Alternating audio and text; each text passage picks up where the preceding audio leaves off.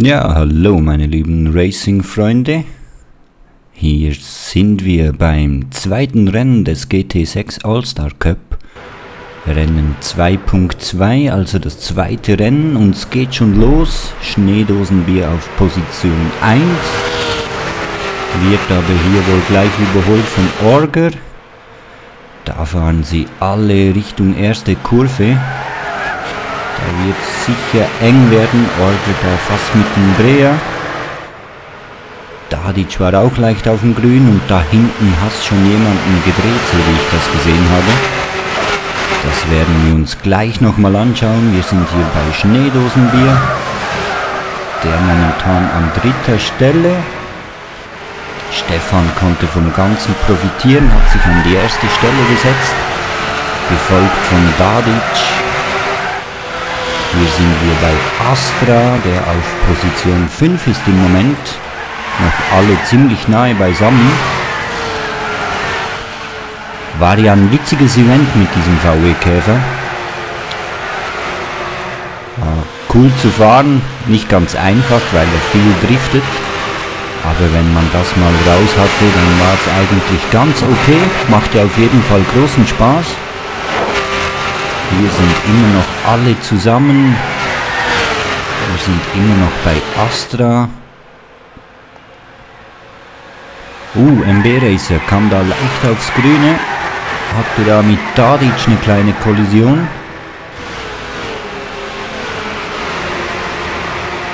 Und die erste Runde ist schon um. Wir schauen uns mal die Startsachen an. Hier sind wir bei Barney Der bekommt auf dem Orion einen leichten Schubser, fährt aufs Grüne und dreht sich leider. Konnte da nicht viel dafür, wurde ein bisschen rausgedrängt. Dann hatte Pannenblinker auch noch einen Dreher. Schauen wir uns das auch mal an. Hier innen, Orion zieht rein, bleibt am Heck und dreht ihn einfach mal eiskalt.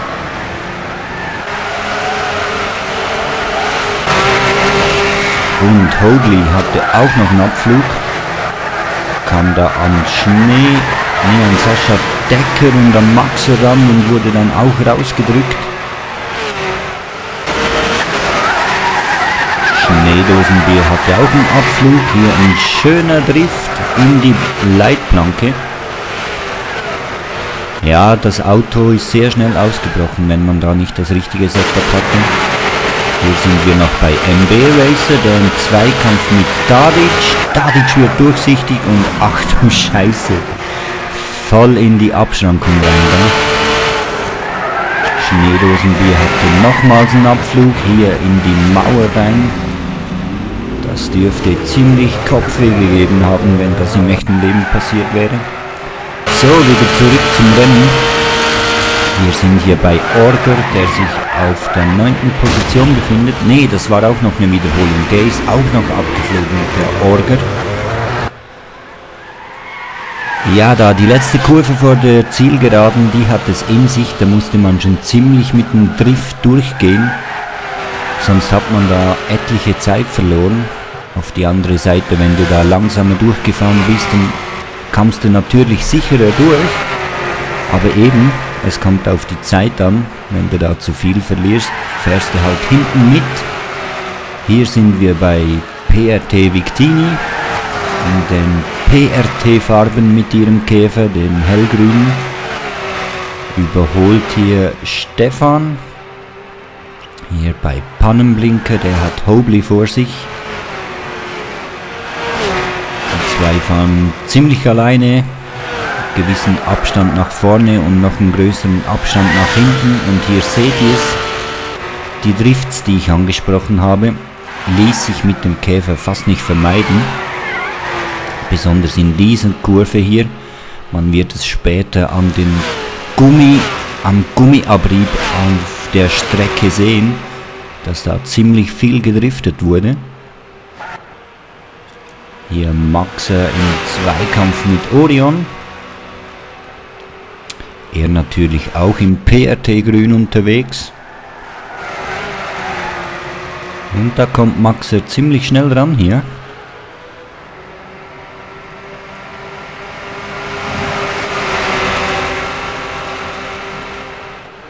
Na, wird er jetzt einen Überholversuch starten? Da zieht er innen rein, bleibt noch hinten. Aber hatte da wieder fast einen leichten Dreher. Jetzt ist er innen. Oh, und er drückt Orion mit dem Heck weg und Orion dreht sich. Ja, doofer Rennunfall. Kann passieren, sollte nicht, aber wie ich schon öfters betont habe, der Spaß hier steht im Vordergrund. Also nehmen wir das mal locker, wenn sich da jemand ein bisschen dreht oder so. In meinem letzten Cup hätte da das sicher eine Strafe mit sich gezogen, aber eben hier. Hier soll die breite Masse angesprochen werden, dass alle Spaß haben, dass wir eine gemütliche Zeit am Freitagabend miteinander verbringen. Das ist eigentlich so die oberste Priorität. Wir sind hier bei Sascha Decker, der sich auf der 10. Position befindet im Moment.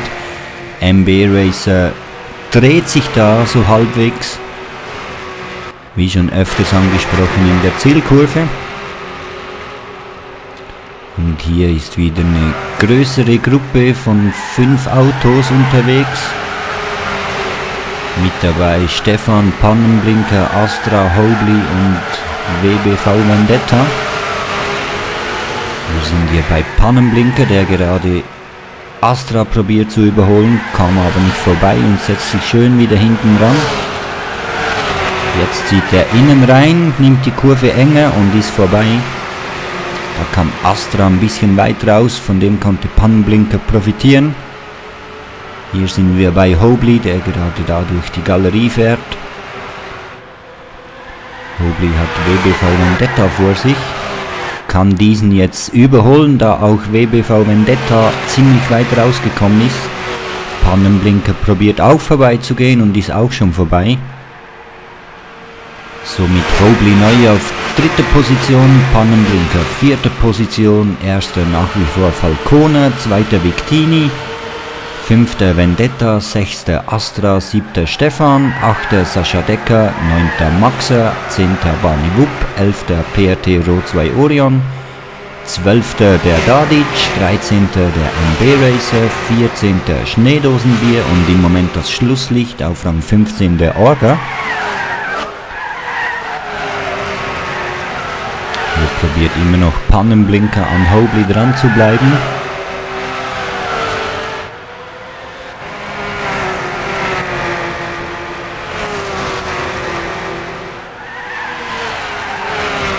WBV Vendetta und Astra haben schon ein bisschen den Anschluss verloren, also Hobli und Pannenblinker können sich da etwas absetzen.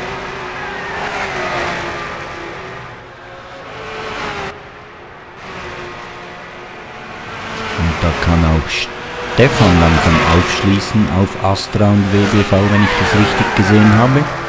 Ja, zwar nee, das hat etwas getäuscht.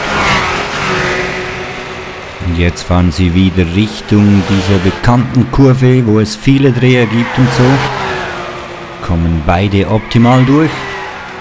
Astra setzt sich jetzt ans Heck von WBV, zeigt da, hey, ich will vorbei und tut dies auch. Somit Astra neu auf Position 5, WBV Vendetta auf 6 gerutscht. Man sieht es auch, WBV fährt immer eine ziemlich weite Linie, also ist da nie schön am Scheitelpunkt innen in der Kurve. Hier sind wir wieder bei Pannenblinker, der die Reifen wieder qualmen lässt. Hobli konnte sich doch leicht absetzen, ist leicht schneller im Moment.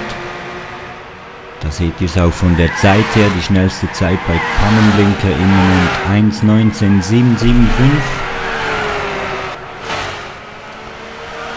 sind wir bei Maxer, der auf 8. Position ist. Hier Ro Orion, hier 10. Barney Wupp. Ja, Barney ist ein armer Kerl, der hat in der letzten Zeit bei meinen Events hat er immer etwas Pech, wird gedreht oder wird abgedrückt oder so. Fährt aber trotzdem immer mit, von dem her mal liebe Grüße an dich Barney, schön, dass du immer noch dabei bist. Macht auch Spaß mit dir, weil du halt ein echt schneller Fahrer bist. Und hier sind wir wieder bei Ro Orion, der den Orge überrundet. Orger war das erste Mal bei einem Event von uns dabei, ist ein guter Freund von mir, kennt ihn auch im echten Leben. Waren früher mal zusammen in Saasfee am Arbeiten, war eine coole Zeit da, von nebenher Orger, cool bist du mit dabei, freut mich. Und hier sind wir bei Dadic, der im Moment auf Position 13 ist. Währenddessen, ihr seht es rechts, Schnee Schneedosenbier ist schon in der Box. Da kommt er raus.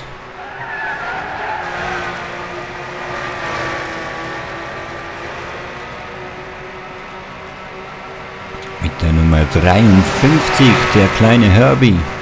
Herbie hatte doch die 53, 53 wenn ich mich recht erinnere. Hab die Filme früher gerne geschaut oder wie hieß der andere, der gelbe Käfer, der, der Dudu. Genau, Dudu macht das schon. Dudu parkiert selbst ein, Dudu kann dies, Dudu kann das. die guten alten Filme mit den Käfern. Drift von Schneedosenbier, nochmal ein Drift konnte den Karren diesmal halten, nicht ausgebrochen. Währenddessen sind wir hier wieder bei Orger, der da ein bisschen den Rasen mäht. Hier nochmals. Er im Moment abgeschlagen auf letzter Position.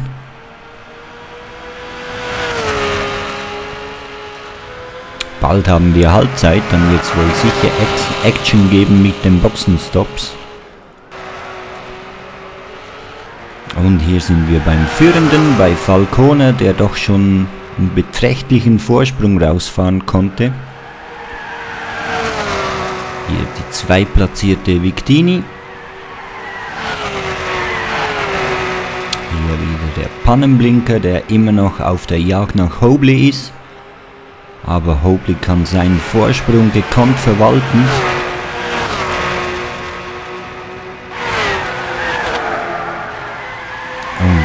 fahren sie wieder durch die Kurven.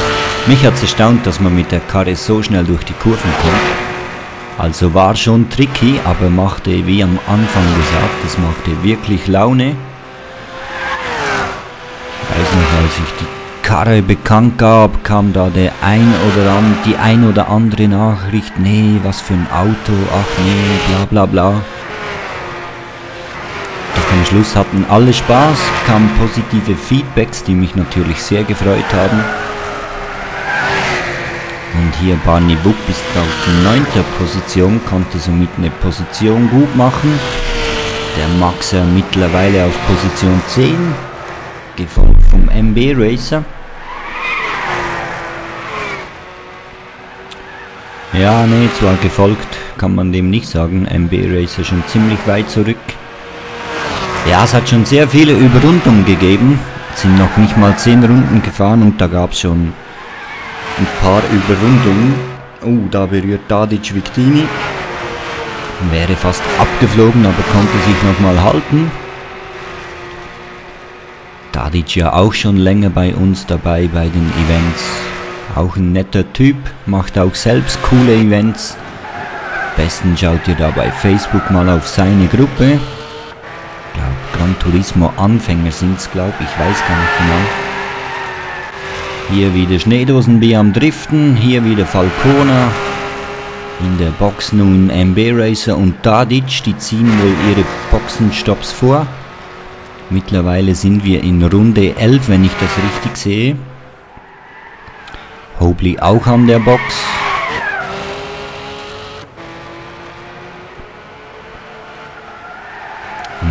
B-Racer, äh, MB Racer, Entschuldigung, Falcone hat immer noch einen großen Vorsprung. Also da wird wohl nichts mehr anbrennen. Der wird wohl seinen Sieg gekonnt nach Hause fahren. Hier überholt Victini den Orga, der dann eine Rauchshow für Victini abzieht und sich gleich nochmal dreht. Stefano Maxer jetzt auch in der Box.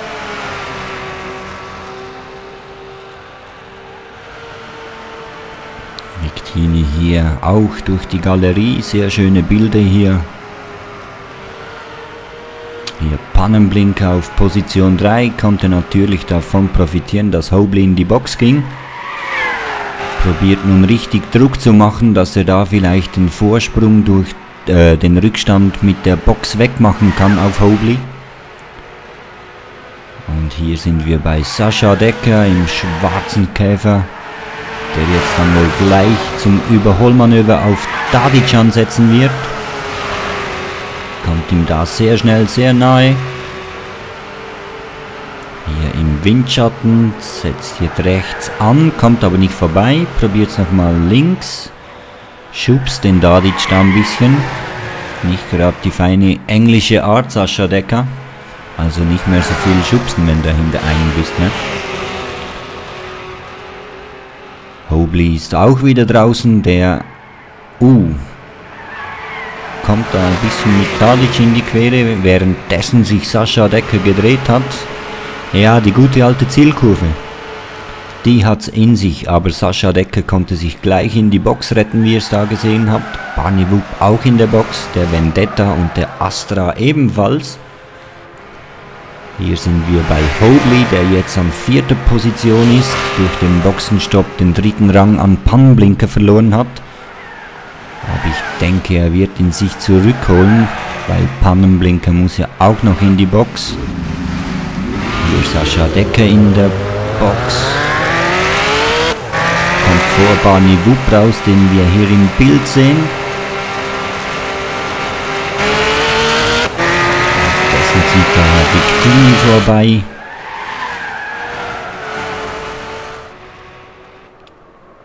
Orion hier in der MB Racer. Kampf um Position 11. Ja, das war auch das Schöne in diesem Rennen. Es gab nicht nur vorne Positionskämpfe, sondern auch hinten gab es coole Zweikämpfe. Also da gab es wenige Fahrer, die einfach nur so für sich fahren konnten. Es gab immer irgendwie Zweikämpfe und so. Das ist es ja, was den Spaß ausmacht. Also war wirklich ein echt cooles Rennen und ich freue mich bereits auf Rennen Nummer 3. Hier Pannenblinker hinter Barney Wupp. Kann da vorbeiziehen, weil Barney etwas ins Driften gerät. Sind wohl die Reifen noch kalt, kam ja erst gerade aus der Box. Somit wurde Barney überrundet. Hier sind wir wieder bei Orion, der immer noch probiert, den MB Racer zu jagen. Aber so wie ich das sehe, kann sich der MB Racer leicht absetzen und da kommt auch schon Falcone angeschossen, der jetzt Orion überrundet.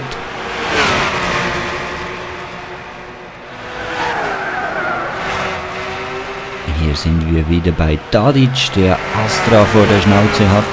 Tadic dürfte wohl auch schon überrundet worden sein, weil Astra befindet sich auf Position 5 und Tadic auf Position 13. Hier sieht man, dass das Auto von Dadic sehr unruhig liegt. Hier sind wir wieder bei Orga, jetzt wieder bei Falcona, der im Moment Position 2 hat, weil Pannenblinker noch nicht an der Box war. Gefahren sind 14 Runden, es geht noch 8 Runden. Im Moment erster Pannenblinker, zweiter Falcone, dritter Victini, vierter Hobley, fünfter Astra, sechster der Vendetta, siebter Stefan, achter der Maxer, neunter Sascha Decker, zehnter Barney Wupp, elfter MB Racer, zwölfter Orion, dreizehnter Dadic, vierzehnter Schneedosenbier und immer noch am Schluss der Orga. Wir bleiben mal hier bei Victini. Hat Orion vor sich, die beiden Teamkollegen vom Team PRT. Wird ihn da wohl auch gleich überrunden. So hat es zumindest ausgeschaut. Hier beide mit dem Sassy Green Käfer. Uh, Abflug. Da hat sich, der Herbie war das, da hat sich Schneedosenbier wieder gedreht. Schneedosenbier hatte öfters einen Dreher drin.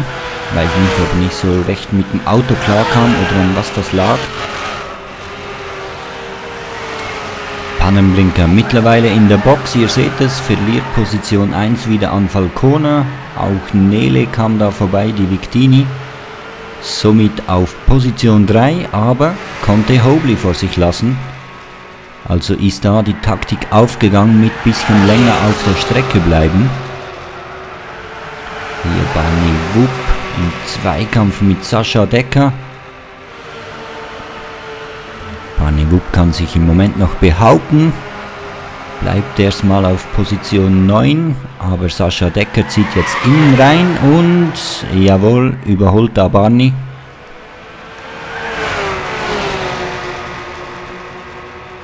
Und kann sich auch gleich ziemlich absetzen, habe ich das Gefühl. Uh, Barney, einmal links abbiegen in die Bande bitte. Kam da ein bisschen auf das Grün raus. Und ihr, die mitgefahren seid, ihr habt es ja sicher selbst bemerkt, wenn du da mal ein bisschen aufs Grün kommst, ist die Karre gleich weg. Also die bricht sehr schnell aus. Hier sind wir wieder bei Schneedosenbier. Ihr seht es, wieder ein Drift. Da stimmte wohl das Setup nicht ganz, wenn der so viel am Rutschen ist. Hier schon wieder. Geht er auch kurz den Rasen mähen.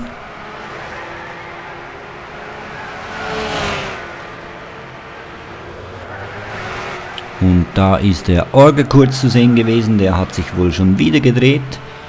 Hier sind wir wieder beim Führenden, beim Falcona. Ihr seht es, beste Runde 1.18.666. Der macht wirklich richtig, richtig Tempo. Also der musste echt ein geiles Setup haben. Der fuhr uns da allen davon. Aber auch verdient. Ich meine, wenn der wenn das schafft, so ein Set, schaffst, so ein Setup hinzukriegen, dann kann man nur den Hut ziehen vor solchen Fahrern und muss sagen, okay, er war einfach stärker. Währenddessen haben wir gesehen, dass der MB Racer wieder einen Abflug gemacht hat. Da glaube ich, Victini noch leicht in Mitleidenschaft gezogen hat. Durch das kommt der Pannenblinker etwas näher. Mittlerweile die Bestzeit bei Pannenblinker auf 1.19.323.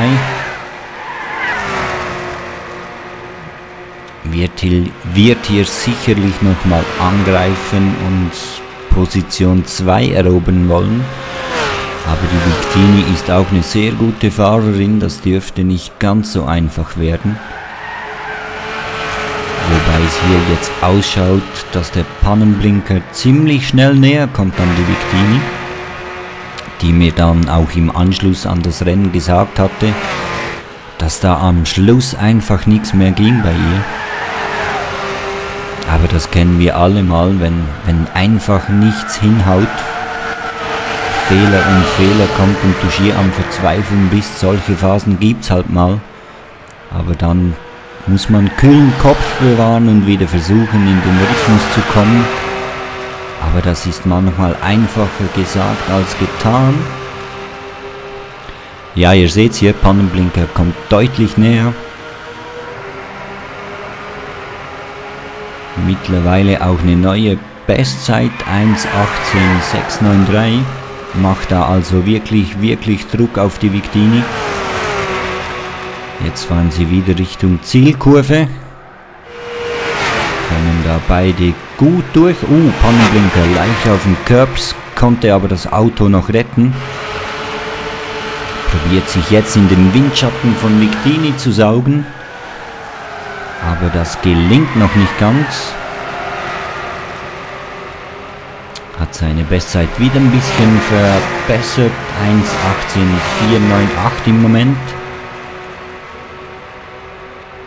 Und da vorne werden die nächsten überrundet. Das ist der Schneedosenbier. Der hat sich schon wieder weggedreht. Überrundung erledigt. Aber da vorne ist noch Barney-Wupp. Da kann jetzt vielleicht Pannenblinker nochmal profitieren, wenn da Victini ein bisschen ausgebremst wird und nicht gleich vorbei kann. Victini gleich auf Höhe von Barney. Pannenblinker konnte weiter Zeit gut machen auf Victini. Ihr seht das hier, ist schon ziemlich nahe dran.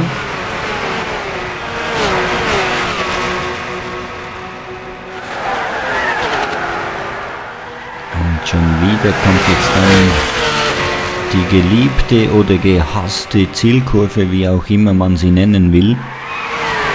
Victini da ziemlich nahe am Barney Wupp. Pannenblinker da schon an der Stoßstange von Victini. Wird er da Ende Kurve zum Überholen ansetzen? Denke eher nicht, weil Victini auch im Windschatten von Barney Wupp ist. Aber ihr seht hier, Barney Wupp macht klasse Platz, lässt die beiden vorbei. Barney Wupp ein sehr fairer Fahrer. Und Pannenblinker geht jetzt hier innen vorbei. Kommt er durch? Ja, kam vorbei. Pannenblinker neu auf Platz 2, Victini auf Platz 3. Uh, da ist das Auto von Pannenblinker leicht ausgebrochen. Jetzt heißt es natürlich Tempo machen und Victini abschütteln.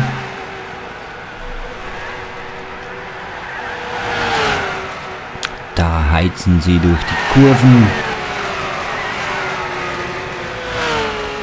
Ja, ihr seht, das Pannenblinker fährt im Moment letzte Rille.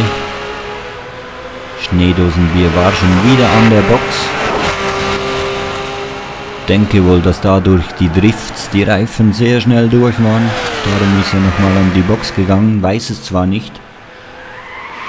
Kannst ja deinen Kommentar ablassen, kommentiere im Video unten dran, will uns Wunder nehmen. Uh, Pannenblinker schon wieder auf den Curbs. Hier sind wir wieder beim Führenden, der doch schon einen recht großen Vorsprung hat. Zweiter Pannenblinker, dritter Victini, vierter der Hobley, fünfter Astra, sechster Vendetta, siebter Maxer, achter Stefan, neunter Sascha Decker, zehnter der Barney Wupp, elfter MB Racer, zwölfter PRD Orion, dreizehnter der Dadic, der Orger neu auf Platz 14 hat die Schlusslaterne abgegeben an Schneedosenbier. Und wir sind hier bei Maxer, der gerade durch die Galerie fährt. Er auf Position 7. Hinter ihm der Stefan. Mit so circa 3-4 Sekunden Abstand würde ich mal tippen. Hier der Sascha Decker auf Position 9. Dahinter hier im Bild der Barney-Wupp, Position 10. 11. Ro 2 Orion.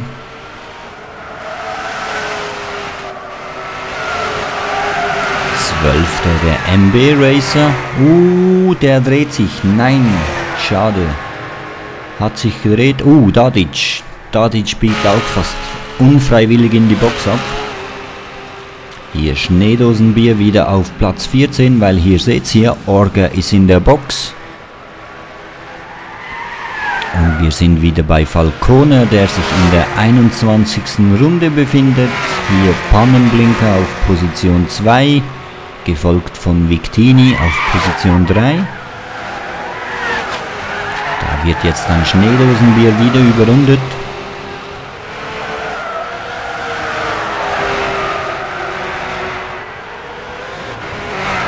Uh, da dreht er sich fast wieder. Uh, leichte Berührung mit Pannenblinker. Die Victini uh, will auch durchziehen, aber dann macht Schneedosenbier die Tür zu.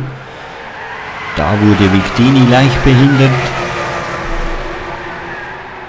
Oh, und da dreht's den Schneedosenbier wieder. Victini musste auf die Bremse und hat dadurch ziemlich Zeit verloren. Das ist so eine kleine Bitte, die ich habe an euch Leute. Wenn ihr da seht, wenn Autos von hinten kommen, die vor euch liegen, also sprich ihr überrundet werdet, seid so fair und macht einfach Platz. Sprich, geht an die äußere Linie und nicht innen in der Kurve rum Geht einfach weg von der Ideallinie und lasst die Leute vorbei, weil da kann man doch schon dem ein oder anderen das Rennen zur Sau machen, wenn man da einfach stur auf seiner Linie bleibt. Und ihr werdet ja nicht überrundet, weil ihr gleich schnell seid, sondern ihr seid halt etwas langsamer oder hattet viele Fehler drin. Also lasst doch den schnellen Leuten einfach Platz aber genug der Worte, hier sind wir wieder bei Falcone, der sich auf der letzten Runde befindet. Ich hab's gesagt, er wird das souverän nach Hause fahren. Kam da nie wirklich in Bedrängnis. Hier das letzte Mal durch die Galerie mit seiner Nummer 23 und dem schwarzen VW Käfer. Kommt jetzt dann schon zur Zielkurve Dann sind es noch wenige Meter und er hat den Sieg in der Tasche. Jawohl, kommt da perfekt durch. Somit Runde 2, Rennen 2, Sieg für Falcona. Mit einem beträchtlichen Abstand hier zweiter Pannenblinker.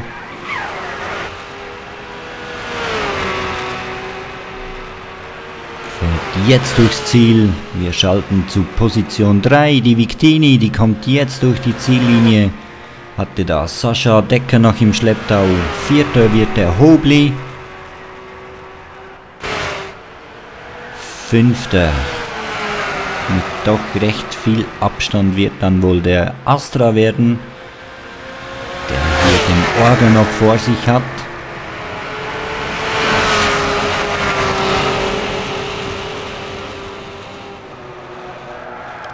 Da biegen sie ein in die letzten zwei Linkskurven. Oh nee, da hat es den Astra noch gedreht. Ach, schade. Und WBV Vendetta kann da profitieren, schnappt sich den fünften Platz von Astra noch weg, der in der letzten, in der vorletzten Kurve einen Fehler drin hatte. Ah, was für ein Pech für den Astra hier. Aber somit Position 5, WBV Vendetta, der jetzt über die Ziellinie fährt. Hier der unglückliche Astra, der noch einen Fehler drin hatte. Somit Platz 6 für ihn. Siebter wird der Maxer. Achter wird dann der Stefan. Der jetzt über die Ziellinie fährt. In diesem Moment. Neunter wird der Sascha Decker. Jetzt über der Ziellinie. Zehnter wird der Barney Wupp. Ihr seht hier, der hat doch schon einen rechten Rückstand, muss da jetzt auch sich durch die langsam fahrenden Autos schlängeln, die schon durchs Ziel gefahren sind.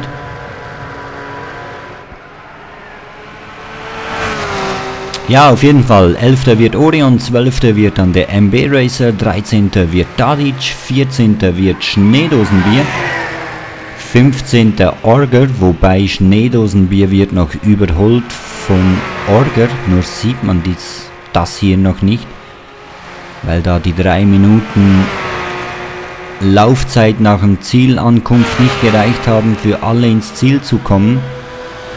Gerade die, die öfteren Dreher oder so drin hatten, für die reichte es leider nicht. Hier sind wir noch bei MB Racer. Auf Position 12 mit seinem gelben Käfer. Mit den grünen Felgen.